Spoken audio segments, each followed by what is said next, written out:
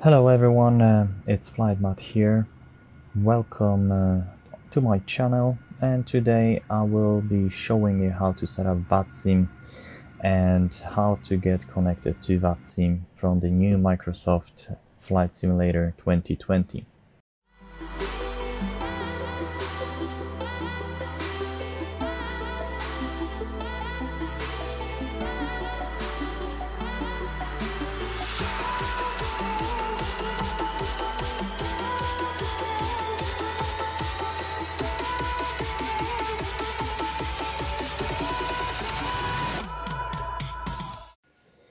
Uh, it's actually very simple, but I got some questions. What's the vPilot? What's the software?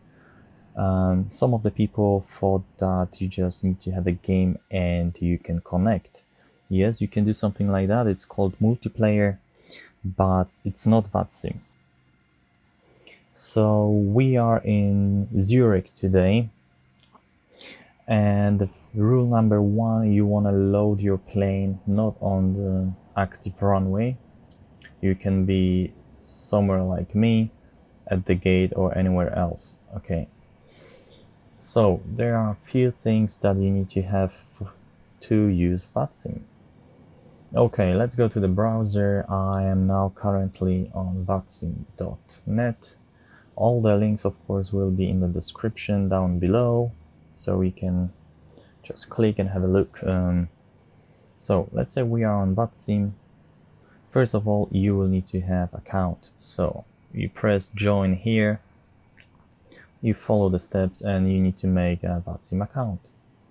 Once you do this you of course have the Microsoft Flight Simulator 2020 uh, second option I mean second software second step is to have the vPilot vPilot is the software that connects uh, you, your game, to to the VATSIM.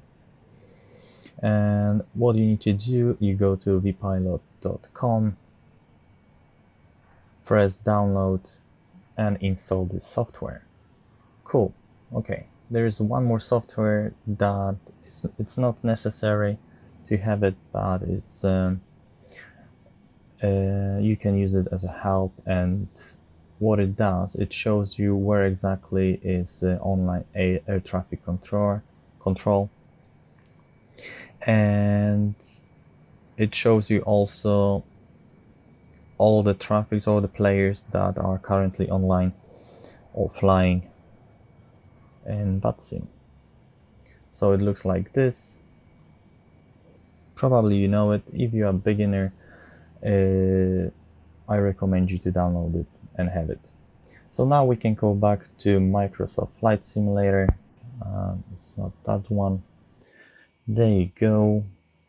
So what you want to do, you want to open vPilot as uh, administrator. It always uh, helps to open it like this because um, it fixes all the problems with the connection. So don't forget that one. Let's uh, connect to VATSIM. So on your left you can see Zurich, Zurich Tower 118.1 and Zurich ATIS 125.725 so we can uh, switch on some power and have a look on the ATIS 125.725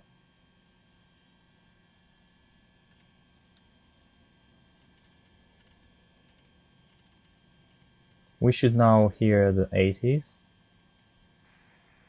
Departure runway 28 and 16 arrival runway 14 ILS approach. Transition level 70 met report Zurich at... Okay, that was the ATIS from Zurich. Nice and clear, nice and loud. So on the beginning when I started uh, first time vPilot, I did have some issues so whenever I switched to, for example, ATIS, it was going back automatically to the previous um, frequency.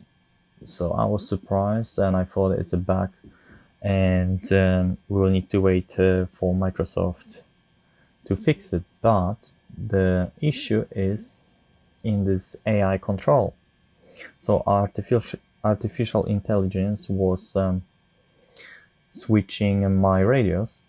As you can see, your FO will be switching or managing uh, the frequencies for you. So I had this one to on, that's why I couldn't switch the frequency for the ATIS. So you want to switch off all these uh, AI controls unless you want to have the checklist assist, but definitely you want to have the radio to off. And let's go to general settings. You need to switch off also two options. One is the sound of the default uh, ATC voice. So it's over here. You want to switch it to zero. And the next one is traffic. Uh, if you don't want to see any traffic apart from the online one, you want to put it to zero as well. If you will put it to 100, you will see all these fake um, airplanes at the gate. And that's all basically. Uh, it's a quick tutorial. I hope it's gonna help as I promised um, on the previous video that I will make this video. Hopefully it's gonna help for the new players on VATSIM and uh, thank you for all the comments, all the likes and new subscribers. Uh, subscribes if you like. Thank you so much and uh, enjoy flying as usual. Have a good one and see you on VATSIM.